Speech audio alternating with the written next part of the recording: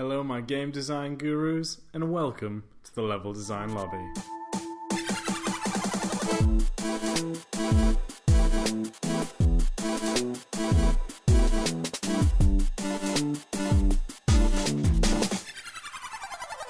Hey everyone, hope you're doing well. You're joining me, your host, Max Pears.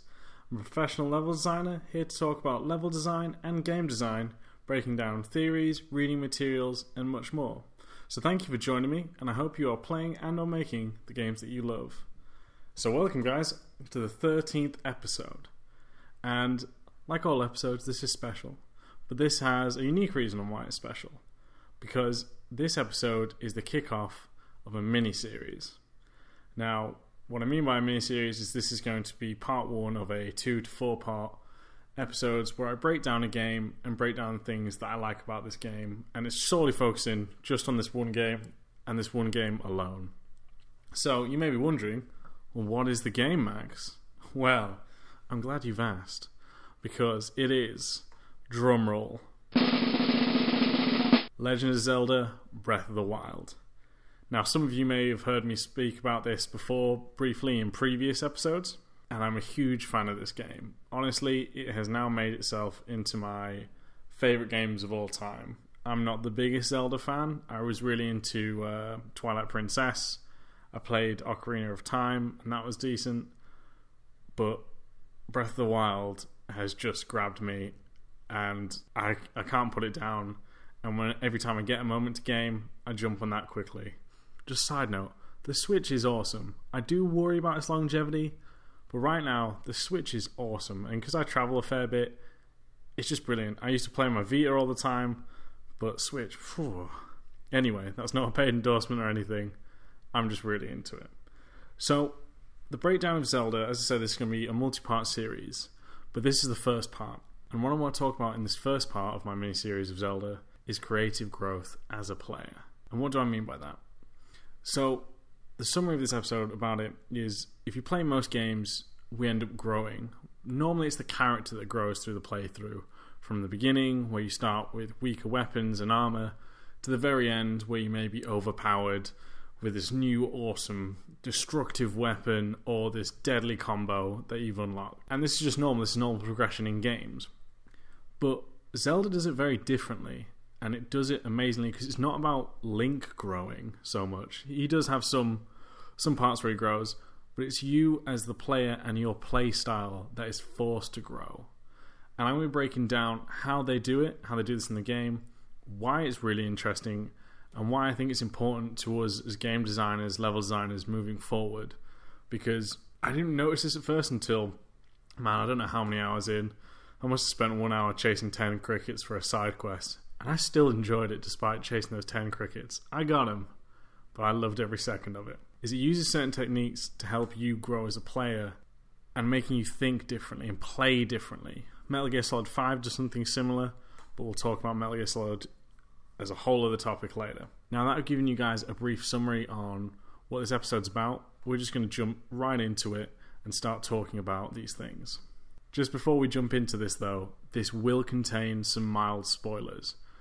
Not necessarily for story, but it will give some things away. So if you haven't played it, it's not major spoilers or story or anything, but it will give some things away. So if you want to play the game and come back, I recommend you do that.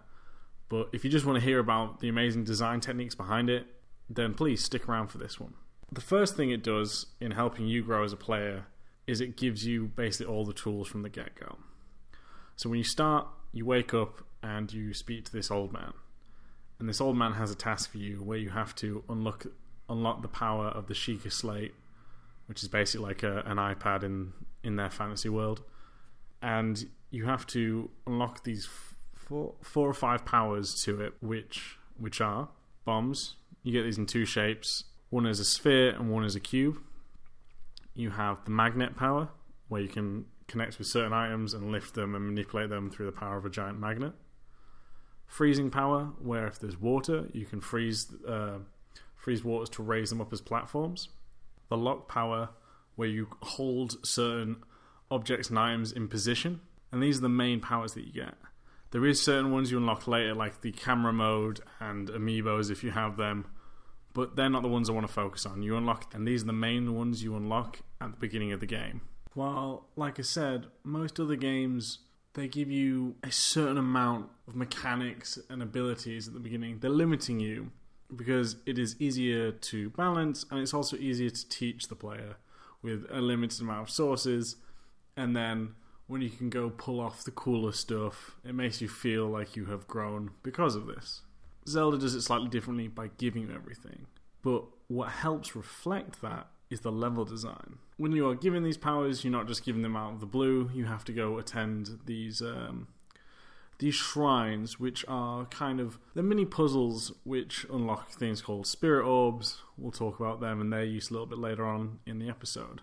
And these shrines are great. These beginning ones, especially, because they give you the basic rundown, and they give you enough space as well to experiment.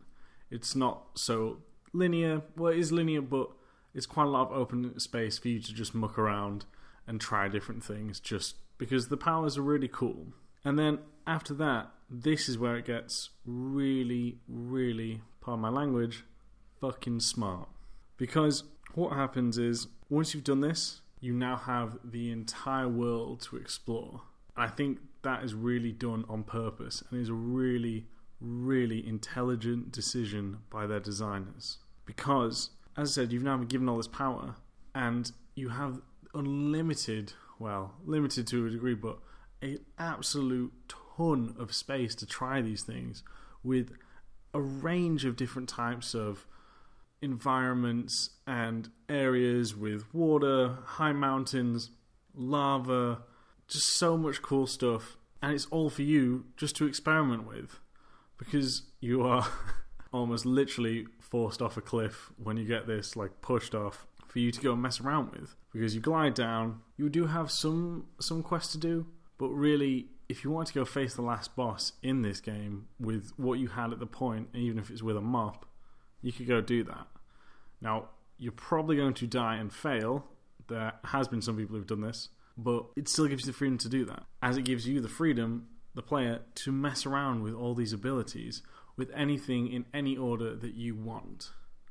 So, again, not only does it give you the abilities at the beginning, but it also gives you the chance to experiment with them in this open world.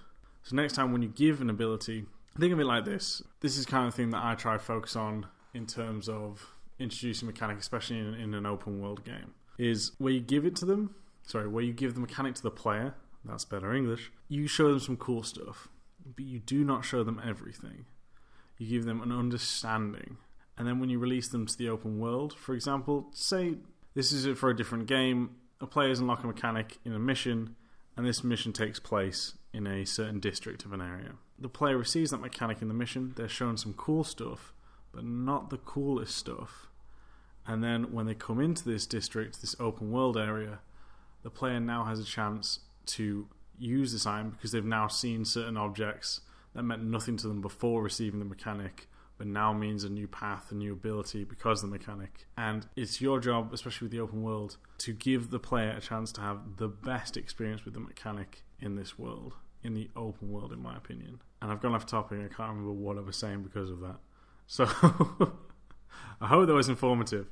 Um, now we're going to move on to another way that they encourage creative growth in players. So that is through the encounters. Now, every open world has these sort of like random encounters or just an enemy base, and Zelda Breath of the Wild is no different. You see these sort of goblins or lizard people, and I'm sure there are people listening to this who are raging at me for not knowing their actual name other than goblins and lizard people because I know that's not the correct Zelda terminology. And to the fans, I apologise. You run into their little encampments, and if you notice about these encampments, they are placed in certain positions with certain items to encourage players to experiment. Now, for example, one base might take place right next to a lake, so you can use that freezing power to create a maybe a flanking route to get the drop on the enemies that you just make around the back of the camp with the with the water or you can use that to create a higher vantage point to take them take them out from the top of this pillar and making sure that they can't reach you with the, their short range weapons, only using long range weapons instead. So that's really clever because you don't have to do that. I know for a long time when I was playing this game, I just ran in with my sword, spear, and bows and bow and arrows, and I was like, "Yeah, I feel cool." And it wasn't until I started to notice these patterns with these encounters that it was trying to tell me other things to experiment with. Another example is in this one base, there are these metal boxes, these metal crates that the player cannot smash, but you can use them to pick. You can use them to be picked up with your magnet ability to either drop on an enemy, push them off maybe a cliff or something, and just beat them senseless with it. Or maybe you can pile it up for again a higher vantage point on top of breaks on top of one another. And it wasn't until after I'd, I'd beaten some of these encounters that I realized, oh, I can actually use these in creative ways. I'm not gonna lie, I felt really stupid and really just not creative. I started to doubt myself because I wasn't killing the enemies in cool ways. But it does this enough so that you can come back and look at this. Because you can come back to these because of something called the Blood Moon, which respawns all the enemies that you've killed from from your previous uh, encounters with them. So again, another smart decision because the things you may have learned from this, you can now reapply it to the encampment that you might come across again. Again, really clever on that one. Moving on to the next point with these encounters. Oh, well, hold on, I just want to give another one. They also can put the uh, encampments at bottom of a hill so that players can just chuck bombs off and blow things up. Again, for each power, there is a way for you to use use it in these enemy encampments. And this moves on to the next point, which is they don't overload these encounters with a solution for every mechanic, which is brilliant. Because one of the problems is is players want choice and we as designers must and must give players choice. But there is a thin line of choice and just overwhelming the player to having no idea what to do or where to go. So they have looking at it, I'm just guessing here, but it looks like they have a hard rule of only two two mechanical solutions at maximum in the encounter space. I haven't completed all of Zelda, so there might be more, but just the amount that I've played, which is oh, I don't even know, like over 20 hours or something. I've only noticed that there are a maximum of two solutions. As I said, the metal boxes, but that can be in the same encampment next to the water. So again, it's not overloading the player, it is up to them to choose and that's fantastic. And like I said, you don't have to do this. You can just go in with your sword and shield. But to me, that is an incredibly smart decision for not overloading or overbet or overburdening players with choice, because they know there's going to be that many encounters around the open world that each mechanic is going to get its chance to shine. That the player is going to learn and master each mechanic at their own pace, at their own time. So to sum up that point, the encounters they have, the basic combat encounters, which can take roughly between 30 seconds and two minutes, encourage players to play smart, to grow their creativity, if you will, through giving players choices, but not overburdening them. I've just been messaged on Facebook. Thank you, Facebook. So next time you're making mechanic, think about your encounters. Does it encourage that growth?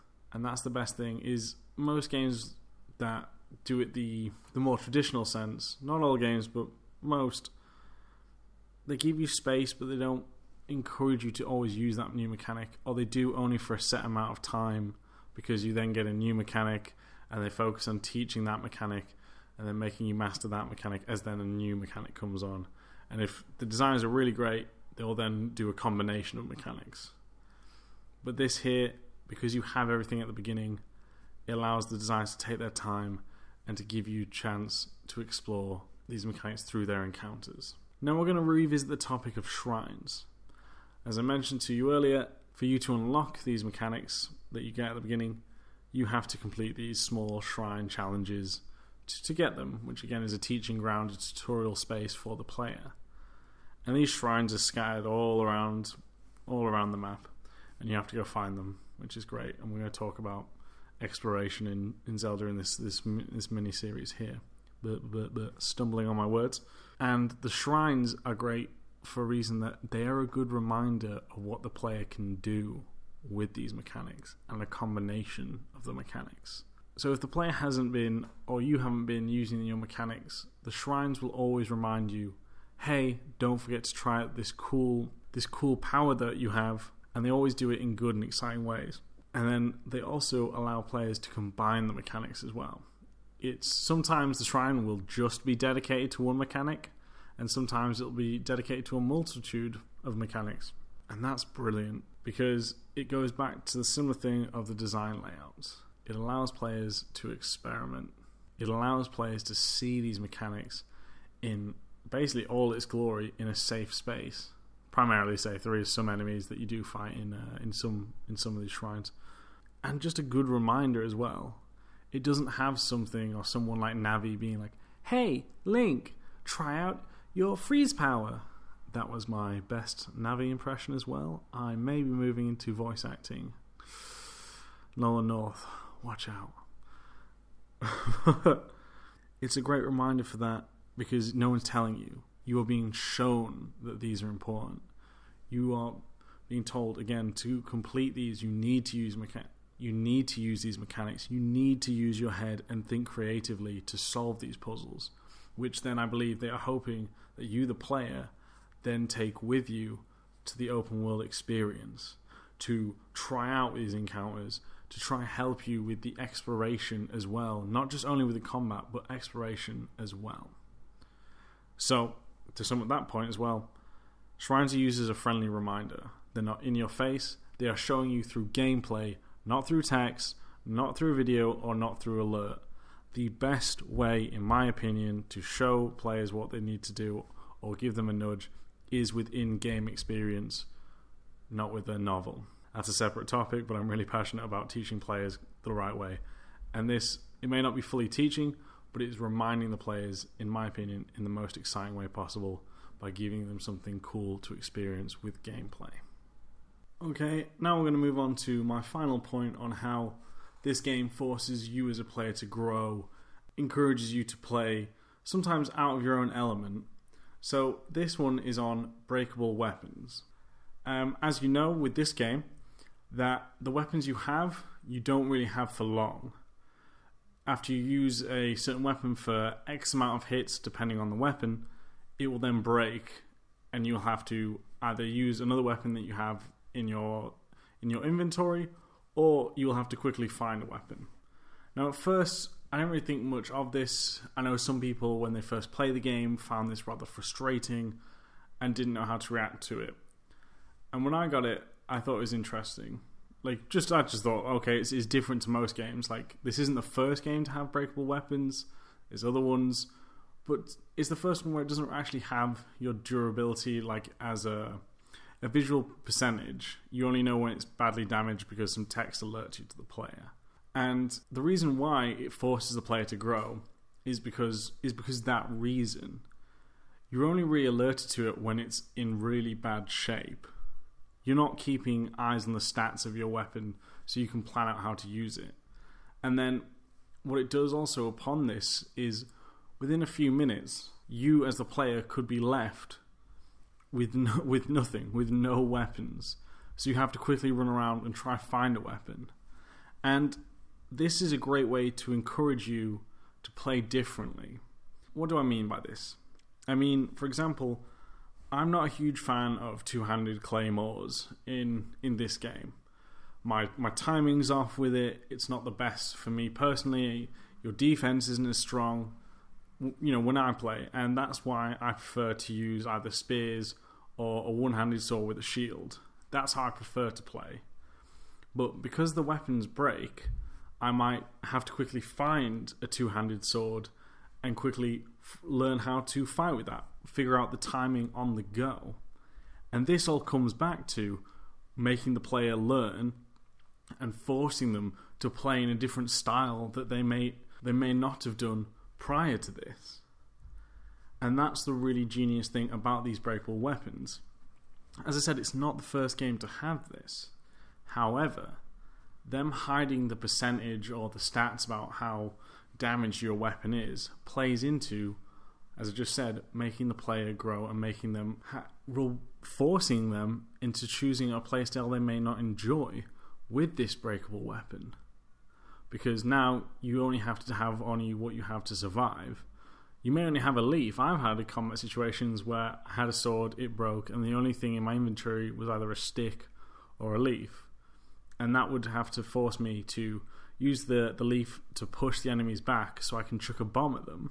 Again, at the time it may be like, oh man, why has this happened to me? God, I hate breakable weapons. But really, it's super smart on the design because now it's forcing you to think on the spot on how to deal with the situation, which is actually like a real fight. You have to think how you're going to attack your opponent, see where where their guards down. Do they only attack with the hands? Maybe you just kick out their legs. But martial arts, that's another passion of mine. That's another thing. But it's very similar to that. In you have to figure out with what you have. Now again, this you can kind of go around this at one point once you get enough enough weapons which suit your playstyle. You don't necessarily have to pick up the weapons you don't like after that. But sometimes you can't find any of the weapons that you enjoy. So it forces you as a player, again, to have to be at least have a basic understanding of each weapon type, of their timing, of their speed, of their defense. The reason I don't like two handed weapons is I was against one of those. Uh, man, again, I'm going to upset some fans here. But it's those like those ninjas that drop the bananas, and they're really fast opponents. And I had a two-handed two-handed sword, a claymore, I just couldn't hit them. And because they were so fast, this power weapon that I had was just useless against them. I'm sure other people will have known how to use it correctly. Like I said, I, I really wasn't accustomed to it. And I died because of me not understanding the timing, the pacing, one of the enemy, and two of the weapon. But because I had no choice, because I didn't have any other weapons other than this claymore, because I I destroyed all the hammers and I destroyed my one handed swords when trying to fight them. It left me no choice but to use this. Okay, I may have died in this instant, but again, really, really smart on how they've done this. Because it all comes back to making you grow as a player, not Link growing. So, to sum that point, because the weapons are breakable, it forces the player out of their comfort zone it makes them have to have a basic understanding and to study and learn the weapon choice that are given to them. Not the ones they choose, but the ones that they have left available to them. And to me, when you think about this, not just breakable weapon system, but this as a whole, the breakable weapon system is a part of all this. And yet, it's another way to reinforce the player to grow as a player. So, guys, that really that really is my main points upon this and how this how Zelda Breath of the Wild really makes you pay attention, really gives you the chance to grow as the player, not just watch your character grow to this overpowered beast, you know, entering beast mode. So maybe at the end you might become OP. I'm still very much, you know, partway through my journey of this. But I really want to share the passion and the design techniques that I'd seen from this game on how it focuses on making you, the player, grow, not the character Link grow. But let's just go through these points one more time just to sum up so, you know, like nothing's been missed. So the first thing they do is they give you all the main mechanics at the beginning of the game. All of these are now exposed so you can use them whenever you want.